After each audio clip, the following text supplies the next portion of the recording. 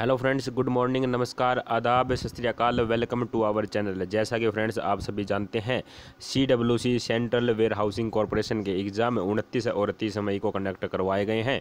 उनतीस मई को सुपरिटेंडेंट और जूनियर टेक्निकल असिस्टेंट जेटीए के एग्ज़ाम करवाए गए और अच्छे से करवा लिए गए बिना कोई पेपर लीक हुए। उसी प्रकार से तीस मई को भी C W C junior superintendent का एग्ज़ाम कंडक्ट करवाया गया। तीन शिफ्टों में ये एग्ज़ाम हुआ और काफ़ी ज़्यादा स्टूडेंट जो हैं, ये एग्ज़ाम देने आए और जो एबसेंट स्टूडेंट हैं वो बहुत ही कम रहे। और फ्रेंड्स, जैसा कि आप सभी को पता है C W C J T A की कट ऑफ़ हमने आपको बना करके दे दी है। अब बात आती है C W C junior superintendent का एग्ज़ाम कैसा आया और कट ऑफ़ कितनी जा सकती है।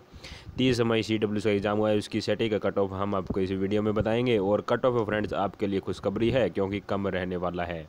उसके डिफरेंट डिफरेंट रीजन भी हम आपको इस वीडियो में बताएँगे और उसके बाद बताएँगे कि कट ऑफ़ क्या रहेगा। तो फ्रेंड्स सबसे पहले बता देते हैं एग्ज़ाम कैसा आया। तो एग्ज़ाम फ्रेंड्स तीनों शिफ्टों का सेम सेम आया, कोई ज़्यादा डिफरेंस नहीं था। बिल्कुल एक जैसा पैटर्न था, एक जैसे क्वेश्चन का लेवल था। और इंग्लिश जो है, वो ईजी दी हुई थी as compare to J exam के।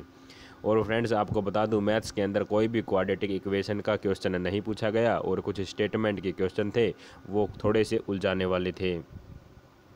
तो मैथ जो है, सभी बच्चों का इतना अच्छा नहीं किया जितना उम्मीद की जा रही थी।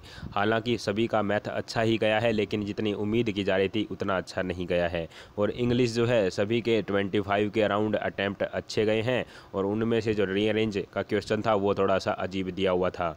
और बात की जाए, जब रीजनिंग की तो रीजनिंग के अंदर जो है पजल काफ़ी ज़्यादा दी हुई थी, जो बच्चों को ज़्यादा उलझा रही थी। और बच्चे जो है रीजनिंग में अच्छा नहीं कर पाए। और जैसा कि आप सभी जानते हैं, इसके अंदर अंदर दो एग्ज़ाम होने हैं। पहले आपका परी का एग्ज़ाम करवाया जाएगा और उसके बाद मेंस का एग्ज़ाम लिया जाएगा और आपको जो है मेडिकल के लिए बुलाया जाएगा। तो फ्रेंड्स, परी के अंदर कट ऑफ़ कम ही जाएगी क्योंकि इसके बाद मेंस का एग्ज़ाम भी होना है और जैसा कि आप सभी जानते हैं, पेपर का लेवल भी इतना ईजी नहीं आया था जितना की उम्मीद की जा रही थी।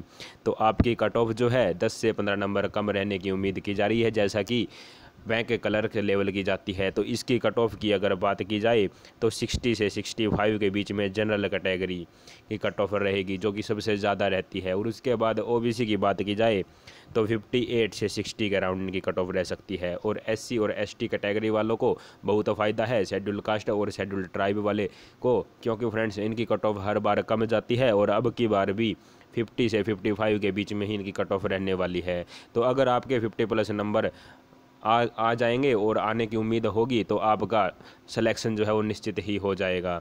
ये वीडियो कैसा लगा, कमेंट करके ज़रूर बताएँ। और इस वीडियो को लाइक ज़रूर कर दें और अपने जितने भी दोस्त हैं, उनके पास शेयर कर करके इस वीडियो को जितना ज़्यादा हो सके उतना फैलाने की कोशिश करें। तो फ्रेंड्स इस वीडियो को देखने के लिए आपका बहुत बहुत धन्यवाद। मिलते हैं जल्द ही नेक्स्ट वीडियो में। Thank you for watching our video for more video like and subscribe our channel